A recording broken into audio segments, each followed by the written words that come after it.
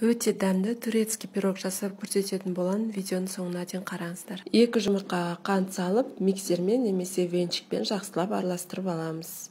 Үстіне сүт құямыз сұйық май құямыз. Ұнға ванильный сахар разохритель какаомызды қосып жақсылап араластырып аламыз.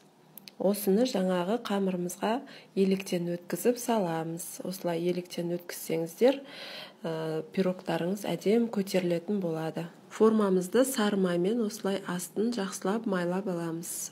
Қамырымызды құйып қызып тұрған пешімізде 180 градуста 40 минуттай пісіріп аламыз.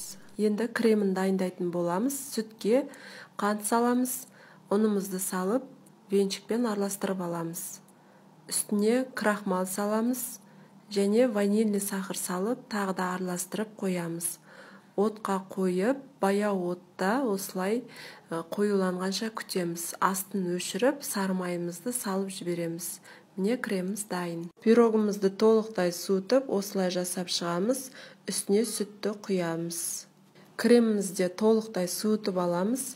Ә, пирогымыздың үстіне кремімізді салып осылай реттеп аламыз. Үстіне қалауыңызша шоколад немесе какао сеуіп ә, дастарханға қоя берсеңіздер болады. Міне ә, пирогымыз дайын.